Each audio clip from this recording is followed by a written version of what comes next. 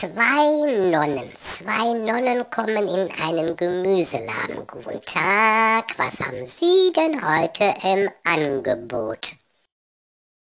Gurken, Gurken, sagt der Gemüsehändler, drei Stück für zwei Euro.